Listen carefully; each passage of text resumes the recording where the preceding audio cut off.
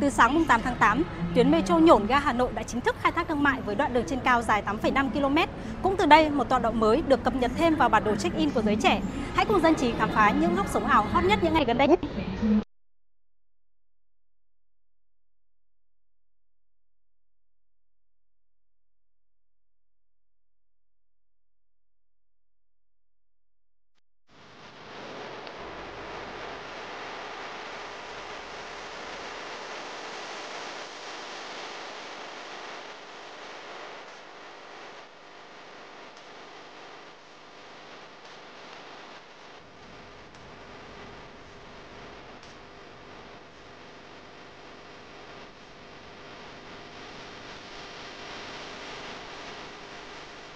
Cũng đã có một khoảng thời gian đi tàu Cát Linh Hà Đông khá thường xuyên.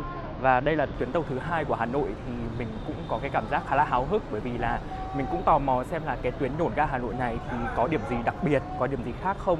Thì theo như mình đánh giá thì nơi này rất là tuyệt vời bởi vì không gian được cái là rất là thoáng, rất là nhiều khoảng mảng xanh và mình rất là đánh giá cao uh, điểm đó. Trong số các ga mà mình đã từng đi thì mình thấy ga Đại học Quốc gia là ga đẹp nhất bởi vì ở đây có trường Đại học Sư phạm Hà Nội có những cái mảng xanh ở đây thực sự rất là đẹp.